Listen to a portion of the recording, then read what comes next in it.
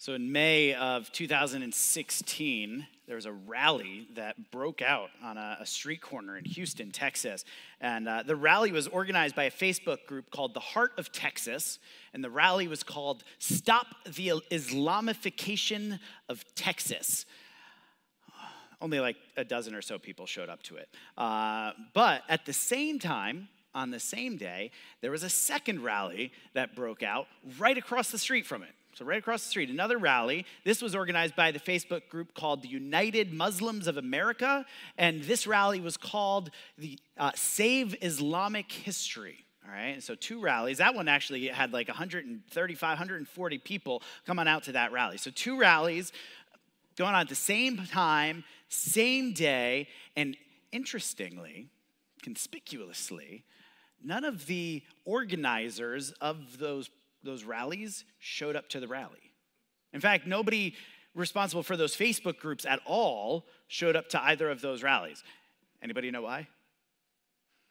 Because both groups, both Facebook groups, both rallies were organized by a troll farm in St. Petersburg, Russia.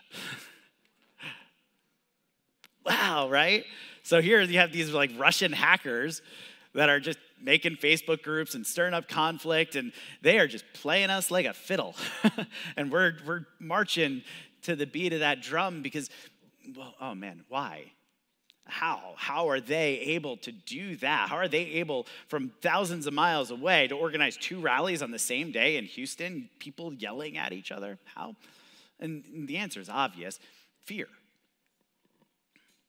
Fear. They, they're playing to our fears. They're not, they're not actually causing the fear, right? they're not causing the fear. Like we're already afraid of these things, and they're saying, well, these are the things people are afraid of. Let me tap into those fears, and I can use those fears to manipulate them. Right? Because fear is a powerful motivator. And sometimes it's a good thing that it's a powerful motivator. Like if you're in the woods and you see a bear, fear, great motivator in that moment.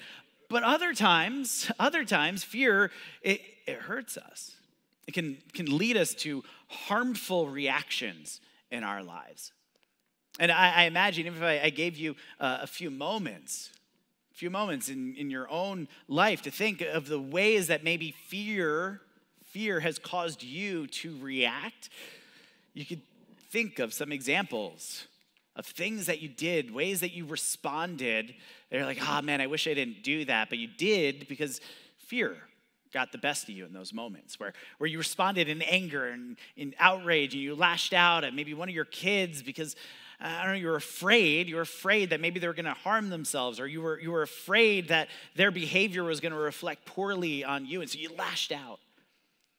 Or, or maybe you, you start manipulating your spouse right? And you're kind of working behind the scenes and you're manipulating things because you're afraid. You're afraid that things aren't going to work out just the way you want. And so you kind of do all this conniving and this manipulating.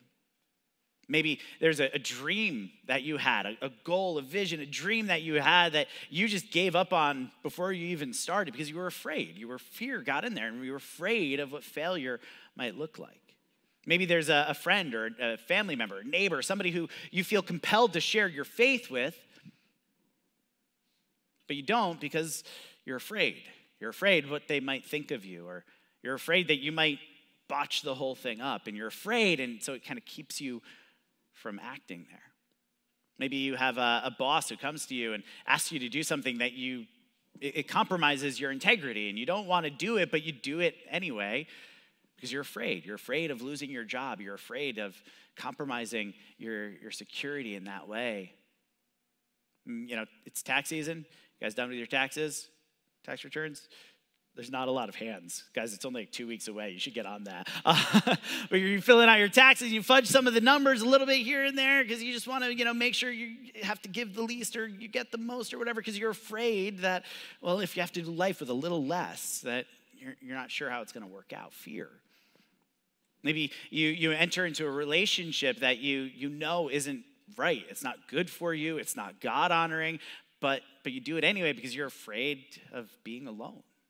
Fear gets the best of us and it causes us to, to have these harmful reactions or sometimes harmful inaction. I think we've all been there. Today's Palm Sunday, right? Today we celebrate this rally, all right? This rally, crowds of people rallying around King Jesus, shouting, Hosanna, Hosanna. And what does Hosanna mean? We just learned this. What does Hosanna mean? Save us, right? Crying out, King Jesus, save us. And it's amazing. We celebrate this day, but we also know that there's going to be a second rally just in a few days. And presumably, some of the same people that were at the first rally are going to show up at the second rally and they're going to rally around King Jesus again, but they're not going to say, Save us. They're going to say, Crucify him. Two rallies. Crowds of people coming against. What, what's motivating? Fear. Right? People crowding around King Jesus. Jesus, save us, save us. Who did they want to be saved from? They wanted to be saved from Rome. They were afraid that the Roman Empire was going to continue to pose this threat. They were afraid of Rome and they wanted King Jesus to save them. Then there's this other rally, and they're crying out, crucify. And why? Well, it's fear again. And we, we learned that the chief priests and the, the scribes, the people that were kind of organizing this whole thing, they were afraid that Jesus was going to cause an uprising in Jerusalem. And if he did, that the Roman Empire would come in and oppress them even more. And so the second rally was also caused by fear of the same thing. Two rallies, both of them organized by fear of Rome, of the Roman Empire. Fear, it, it, can motivate us to do things we don't want to do, and it can motivate us to not do the things that we do want to do. As, as one scholar put it, fear is the path to the dark side. Fear leads to anger, anger leads to hate, hate leads to suffering. All right, that was Yoda.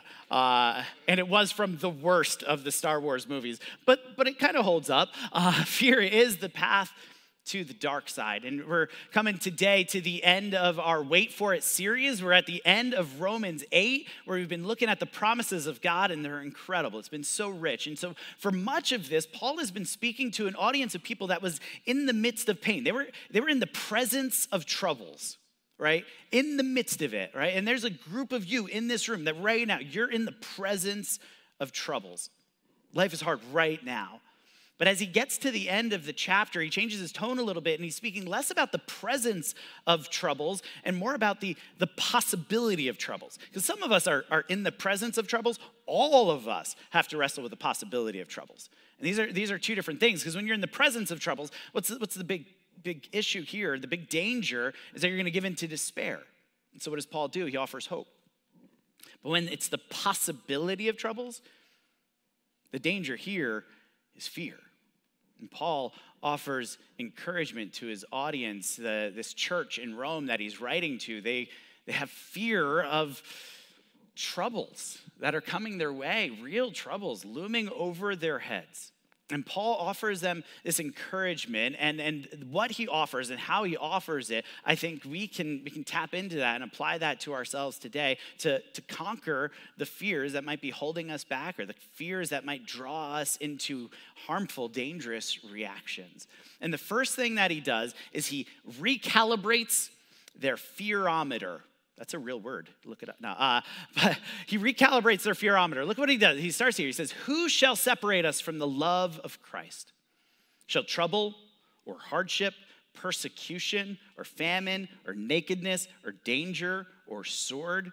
Right? So these things trouble, hardship, persecution, famine, nakedness, danger, sword these weren't hypothetical. These were real troubles looming over the heads of the Paul's audience, the people that he's speaking to in the church in Rome. And when it talks about the sword here, this is a euphemism for death. So, like, all of these hardships and death itself is, is presenting as a potential like this is a, a possible a potential trouble that's looming over their heads and it's causing them fear and paul speaks into this and he recalibrates their their fearometer a little bit and at first when i read this it it seems like Paul missed the mark a little bit. You know, usually, Paul, you're so intuitive, you get us, you're so like emotionally intelligent, but this one seems like you're not quite getting it. And here, here's what I mean.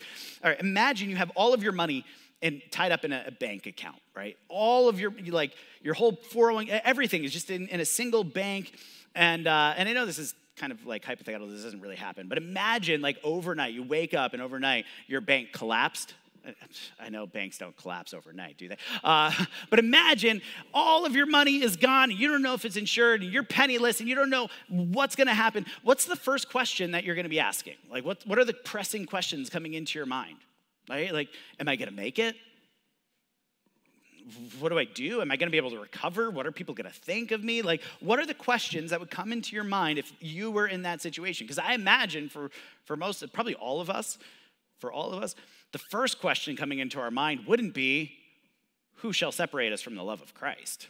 Like, Paul, nobody's asking this question. We're, we're trying to figure out if we can feed our families. We're trying to figure out if we're going to crumble under the pressure of this. We're asking if we're going to survive. We're not asking who shall separate us from the love of Christ. And Paul's saying, I know you're not asking that question, but this is the question you want to ask. Because this, this is what should scare the living daylights out of being separated from the love of Christ. He's, he's hearkening back to what Jesus said in Luke 12. He says, I tell you, my friends, don't be afraid of those who kill, kill, the body and after that can do no more, right? Don't be afraid of those that can bring trouble and hardship and persecution and famine and nakedness and danger and sword, but do no more. I'll show you whom you should fear. Fear him who, after the body has been killed, has authority to throw you into hell. And we don't like to talk about hell. Uh, for obvious reasons, it's hell. Like if, if you do like to talk about hell, by the way, you should get that looked at. We don't, if you don't want to talk about hell, but at the same time, Jesus did talk about hell, so we, we should. And what is hell? The, the Bible gives us different pictures. It's like being cast into fire that never ends. It's like being cast into darkness. But as you, you kind of put all the pictures together, hell is eternal separation from God. That is hell, eternal separation from God. This is what Paul's talking about. Who can separate us from the love of Christ. This is hell. And he's saying, this, this is what should cause us to freak out, right? You, we have a fearometer. And on that, that spectrum of like how much something, how much fear something should cause. And like over here, you have like, you don't have to worry about it. And like way over here, you have I'm freaking out. And like somewhere over here, you have, I just wet myself, right? Uh, so you, things are on this, this spectrum. And Paul's audience has over here in the, the freaking out end of the spectrum trouble and hardship and persecution and famine and nakedness and danger and sword. And Paul's saying, no, no, no, no, no, no.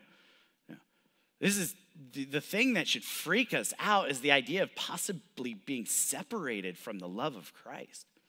That's what should scare the living daylights out of us. And what that does is it, when, when that is here, when being separated from Christ is the real fear, it actually pushes these other fears back into the realm of concern. It doesn't eliminate them, they're still real concerns, like they're, they're real things. So it's not like we don't worry about it at all, but they come back to the realm of reasonable concerns. And after Paul he recalibrates their fearometer and he pushes these concerns back into where they belong, to the realm of reasonable concerns.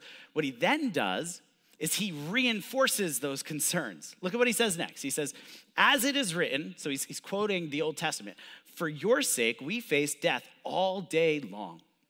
We're considered as sheep to be slaughtered. And I want you to notice what Paul doesn't do. All right, they're coming here and they're saying, Paul, we're worried about trouble and hardship and persecution and famine and nakedness, danger, sword. Like we're worried about these things. And Paul doesn't say, he doesn't say, oh, don't worry about that stuff. It's probably not even gonna happen. Like, don't worry about stuff that hasn't even, no, no, it's probably not even gonna happen. And, and, and have you had people do this, right? You're, you're worried about something and they come in, oh, no, don't worry about it. That won't even happen. And maybe they baptize it and they say, God would never let something like that happen to you. That's not what Paul does. Paul actually doubles down on these possible troubles and he says, Oh, no, no, it's, it's most definitely going to happen. And this is a, a, quote from Psalm 44. And it's an interesting psalm because the psalmist, he's crying out to God. He's like, God, we're, we're just dealing with trouble and hardship and persecution. Like it is, it is coming down on us. We need your help. Give us some mercy here. And there are times in Israel's history, you might be familiar with this. There's a lot of times in Israel's history where they started to rebel against God and God would bring calamity upon them so that they would repent and turn back to Him. This was not one of those times. So in Psalm 44, this is a season when Israel was right, when they were faithful, when they were doing things right. And it wasn't in spite of them doing things right, it was because they were doing things right. It was because they, they were in the love of Christ. It was for His sake that they were facing death all day long, considered to be as sheep to be slaughtered. Paul is saying, yet being in the love of Christ does not shield you from troubles or hardships or persecution or famine or nakedness or danger or sword. In fact, turns up the fire sometimes. Like, yes, he, he actually reinforces the reality of these concerns. And he does so so like casually and kind of cavalierly. And, and the reason he's able to do it so casually is because what he says next. Says, Who's gonna separate us? So any is any of this gonna separate us? Simple answer is no. No, the one thing that's supposed to freak us out is like being separated from God. He's saying, no, no, no, you don't have to, you don't have to fear that at all. No. Why? Because in all these things, we are survivors. Is that what he says? No, he says, in all these things, we are conquerors. It's getting closer, not quite there. He says, in all these things, we are more than conquerors through him who loved us. In all of these things trouble, hardship, persecution, famine, nakedness, danger, sword all of these things, we are more than conquerors. This isn't the picture of like the best team in the league going against the worst team in the league right? Because that's not good enough. Being the best team in the league against the worst team in the league, like sometimes Fairleigh Dickinson beats Purdue, right? That's not enough. Paul actually says, no, no, no, no, we are more than conquerors. It's more like it's more like the 1992 Dream Team against the worst team in your local CYO basketball league. Like that's the comparison. Mo- not just conquerors, more than conquerors. And he says that we are more than conquerors in every conceivable arena. Look what he says. I am convinced, he says, neither death nor life. So, some of us, we're freaking out over here. We're freaking out about death. And maybe we're freaking out about our own death. Probably more likely, we're freaking out about like other people around us dying, people that we love. Like, oh no, I, I don't know if I'm going to survive if they die. Right. Others of us, we're not, not so concerned about death. We're concerned about life. right? Like life is the thing that's going to kill us. We're concerned about the troubles of life, and some of us we'd rather we'd rather die than have to suffer in this life un, unendingly. And so we're worried about like we're freaking out about life. And he's saying in life and death, death or life, in both of those arenas, you are more than conquerors. He goes on and he says, neither angels nor demons now, we don't really have to worry about angels trying to separate us from the love of Christ, but you get the picture. He's saying you go into the spiritual realm, all right? Enter into the spiritual realm, and you go from one extreme, the angels, all the way to the other extreme of the demons. Anywhere in that extreme in the spiritual realm, you are more than conquerors.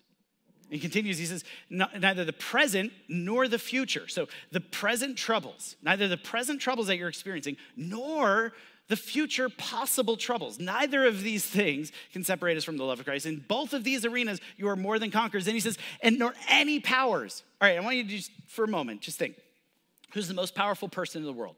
Like, who is that for you? Use whatever criteria you want, like physical strength, political power, social influence, economic power, whatever that is. Most powerful person that you can think of in the world, all right? Imagine that person decides to wage war against you personally. And they, they win battle after battle after battle after battle after battle. But when the war is over, you will not just be victorious, you will be more than victorious. You will more than conquer. Like imagine, so the United States, it's a, an international superpower, right?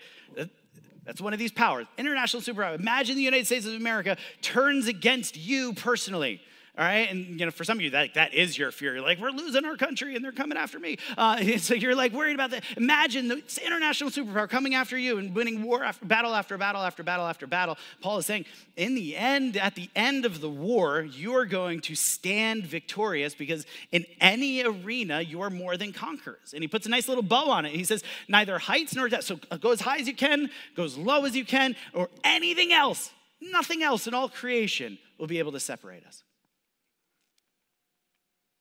in every venue, you are more than conquerors. Here's what Paul's saying. He's saying, I, uh, repeat after me, repeat after me. I, I believe, I believe that, I believe that we, anybody know where I'm going with this? Raise your hands if you, you know where I'm going with this. Because uh, if you know where I'm going with this, I'm gonna, I'm gonna need your help. And I need you to imagine that you're not in church, that you're at a football game uh, as we do this. All right, let's start again. I'm going to do this again. Now we're at a football game. We're doing this. All right, I, I believe, I believe that we, I believe that we will win. I believe that we will win. I believe that we will win. I believe that we will win. And Paul is not chanting this at a football game where maybe you might win, maybe you might lose. No, he's saying, I believe that we will win because we are more than conquerors through him who loved us. An emphasis on, on the we here. We are more than conquerors, right?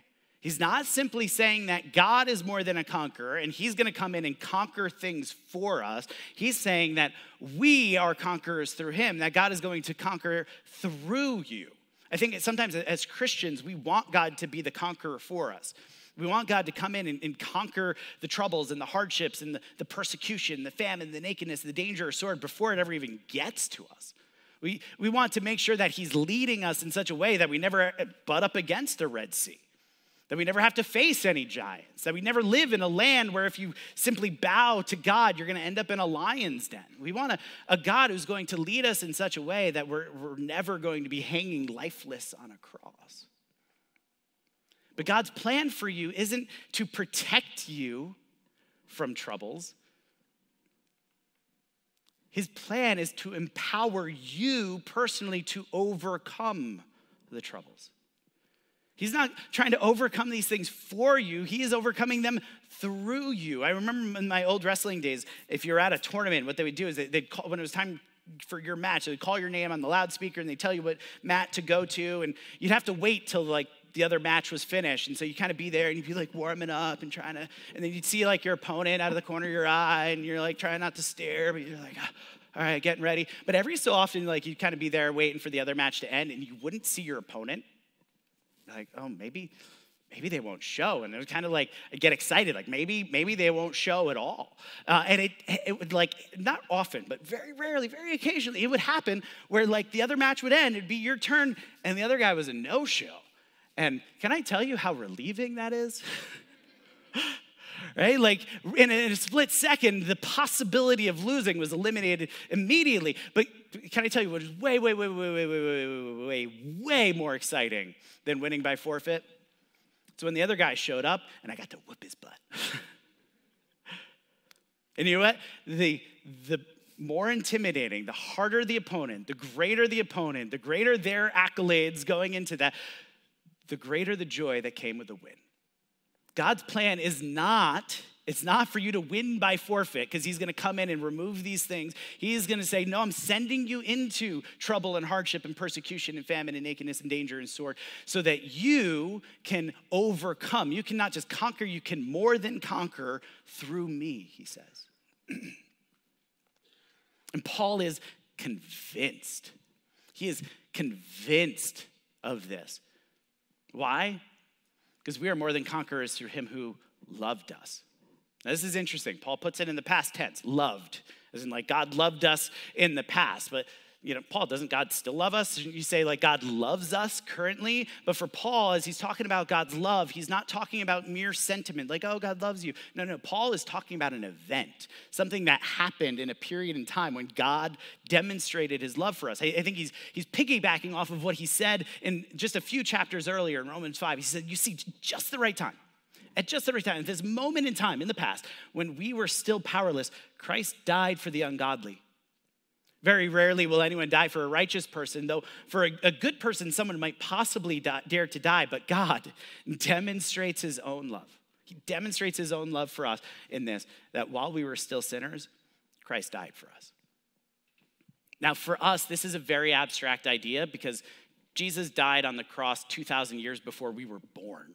So we're like, yeah, he died while we were sinners. Like, but for Paul, this is, this is reality.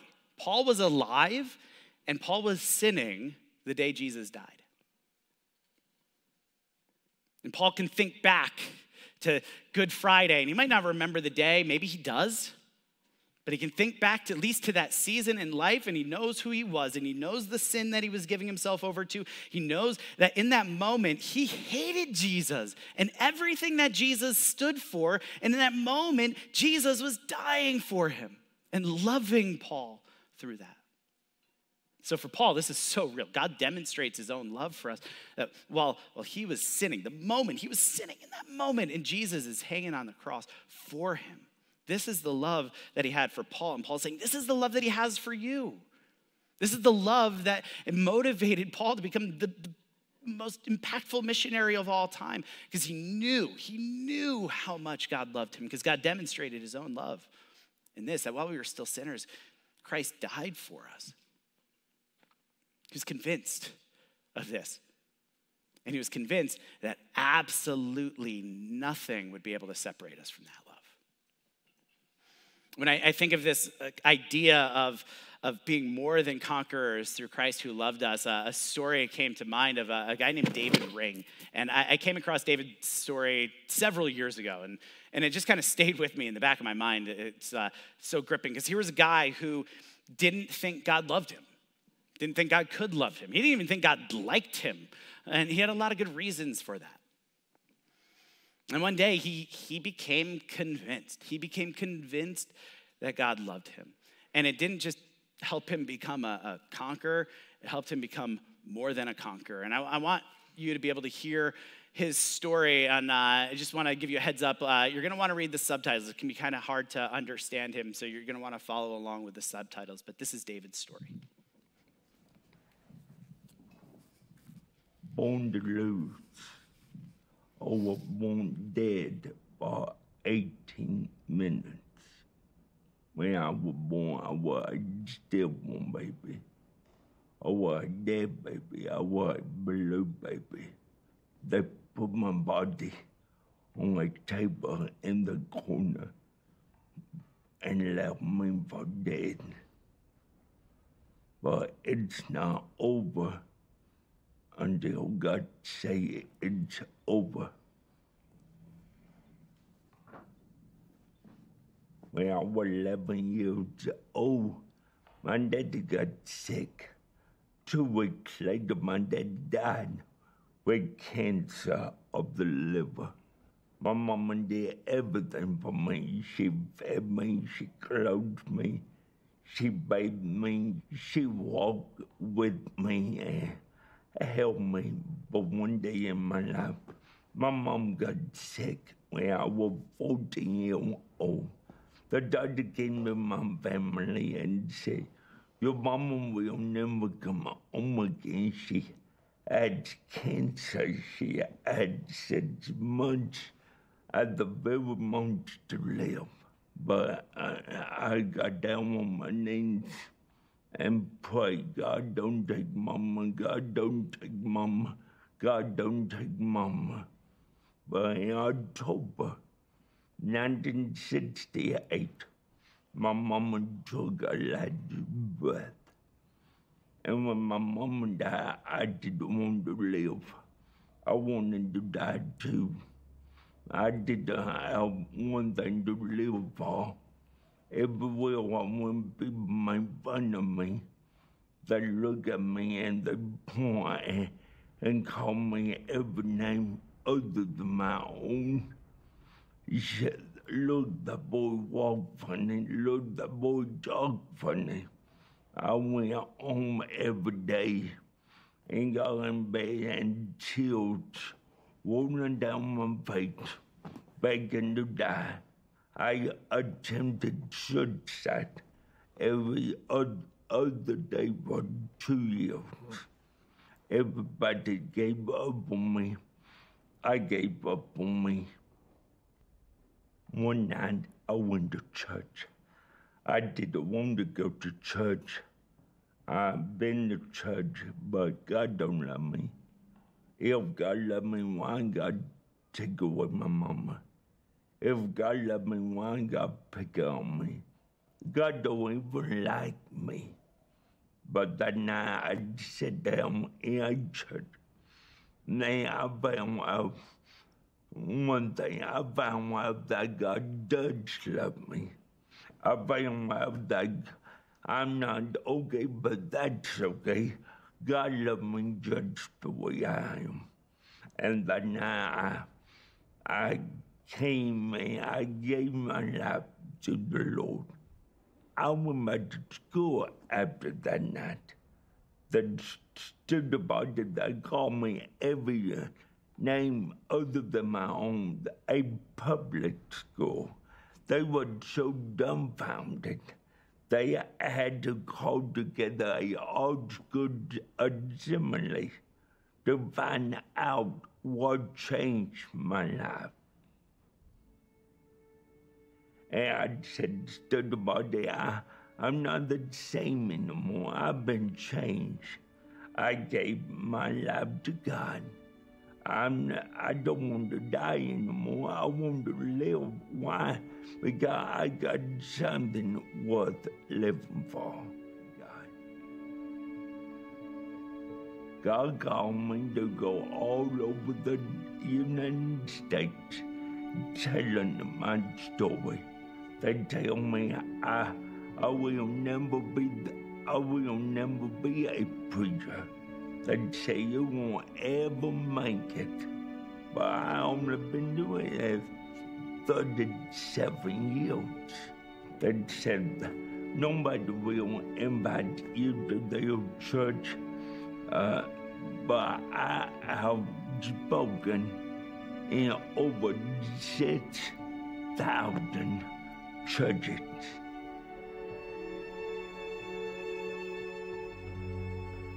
God saw a dead baby, and God brought that dead baby to life. And one day I'm going to wake up, I'm going to have my brain and body, I'm going to see my mom and my dad again. We're going to live forever. And I'm going to say to my Lord, Lord, why have you been so good to me? And I hope he will say, Well done, good and favor servant.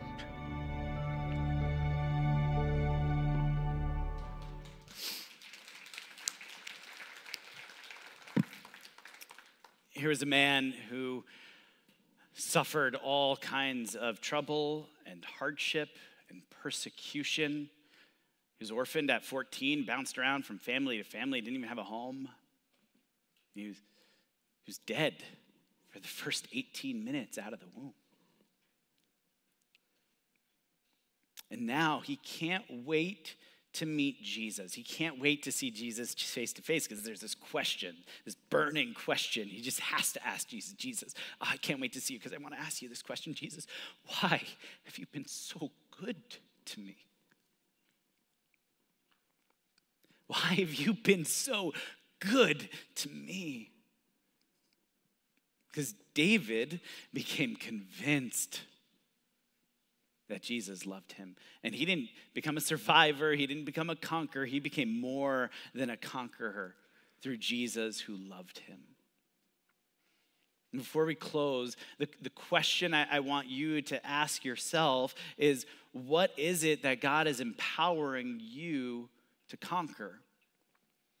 What is it that God is empowering you right now in this season of life to conquer? Because Romans 8, Romans 8, it, it, this isn't a defensive language that Paul is using here. And I think it would be a mistake to read it as defensive language, as if all of the trouble and the hardship and the stuff of the world is coming at us and we're going to stand against it.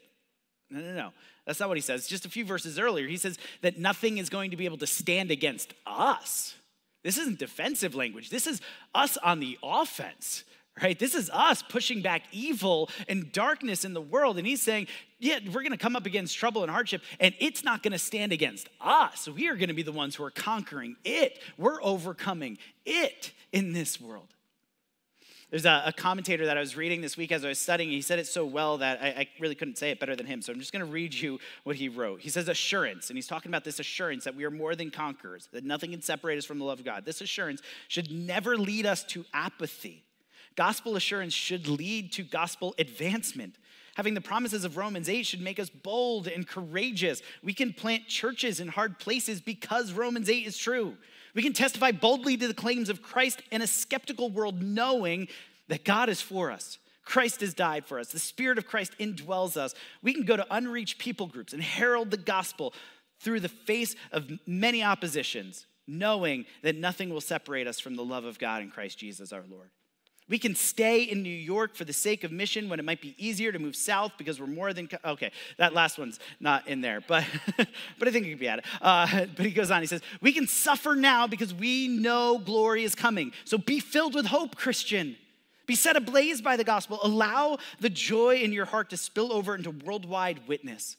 Romans 8 made Paul the greatest missionary ever, and it can make us more faithful in mission as well if we embrace these truths wholeheartedly and live in light of them passionately. These promises are not simply so that you can stand firm as a world, the world comes against you. No, no, no. He's saying this, these promises empower us to go out into the world so that evil and darkness can't stand against you. And so I, I want to invite you to ask the question. I don't know, I don't know what it looks like in your season in life right now. I don't know what God is, is empowering you to conquer. I don't know what that is, but it could be a whole variety of things. Maybe it's just a particular sin or habit in your life that He's saying, all right, pull this out. This is what you're conquering today. Maybe for you, it's, it's as simple as, you know, there's a, a friend or a coworker, somebody who doesn't know Jesus, and God is just calling you to share your faith with them. Or maybe God is calling you to carve out more of your time or your energy or your money to, to give generously, to care for the poor and needy. Maybe for some of you, God is calling you to plant churches or be missionaries and bring the gospel to people who've never heard it before. That God is empowering you for these things. Maybe it's as simple as that God is just empowering you right now to bring healing into your broken marriage. I don't know what God is, is empowering you for this season. But here's a great place to start. Let's ask Him. I want to invite you to ask Him. And not just to do this now, but to do this now and tomorrow and over the next several weeks to just simply say, God, what, what is it that you're empowering me for right now in this season? But here's the deal if you're going to ask the question, then you need to be willing to say yes, whatever He says. Because he might call you into things that you can't conquer on your own, but things that you can conquer through him. And we have an enemy, and that our enemy is way more cunning than Russia, right? Russia's like getting us to have these petty fights with ourselves, like, oh, we're worried about this and that, so that you know we don't notice when they invade Ukraine, right? But our enemy, way more cunning. And he is going to tap into your fears so that when God says, This is what I want you to do, when you get that sense from the Spirit, or you kind of just hear from Him saying, This is what I want you to do, He's going to really start pulling on those fears. And He knows what you're afraid of. He knows how to get us to step back from what God is empowering us to do by tapping into those fears. He knows, oh man, He knows that if He can get us more worried about our 401k than the lost souls around us, he doesn't have to worry about it. You guys get this? Satan's worried about you. He's worried about you, the church. He's threatened by you. He knows that you're more than conquerors. He wants to play to those fears. He, he knows that if he can get us more worried about, I, I don't know, our kids being successful and I don't know, more worried about getting to soccer practice than getting them into the presence of Jesus and having encounters with Him and growing up to be faithful followers of Jesus. If we're more concerned, more worried about them being successful than knowing Jesus, well, He's not concerned about a church that's going to die off in our generation. See, He's going to He's going to play your worries against you. So that when, when you ask God, God, what are you empowering me for? He's, you're going to say, ah, it can't be that. That's too much. No, no, no, no. Ask God, but be willing to embrace that. And if the, when those fears come, I think we can do exactly what Paul did here. Do exactly what Paul did in Romans 8. And we can start and we can just recalibrate your fear um, fearometer, all right? And so you feel that fear, you feel it tugging, and you're like, wait a second, is this gonna separate me from the love of Christ? All right, that's not, that's not something to freak out about. It's something to concern about. Don't need to freak out about it. And then reinforce those concerns. Let them be real. Like, don't don't pretend that they're not there. That's just going to set us up for disappointment and more struggle. But then remind yourself of your power. Because the same spirit that empowered David Ring to overcome him and be more than a conqueror is the same spirit that raised Jesus from the dead, and it's the same spirit that's living in you. So that we can go out and push back the darkness in this world. And I I believe that we will win. And the gates of hell will not stand against us. Let's pray. Father, we thank you for this incredible promise that you are not only conquering for us, you're conquering through us, you're empowering us to, to stand up to these pressures that in our own strength would wipe us out, but with you, we are, we are more than conquerors. And God, I just, I pray for us as a, a, church, as a community of faith, that the, the women and men in this room right now, God, that, that you would, in your grace and your mercy, hear their prayers as they ask what it is that you're empowering for them, them for in this season. That as they ask that, that you would answer, that you would, you would let them know through your spirit what it is you're calling them into, God. And by your spirit, they would, they would have the courage to say yes to things that would crush them in their own strength, but you are preparing to conquer, make them more than conquerors through your power at work within them. We pray this in Jesus' name. Amen.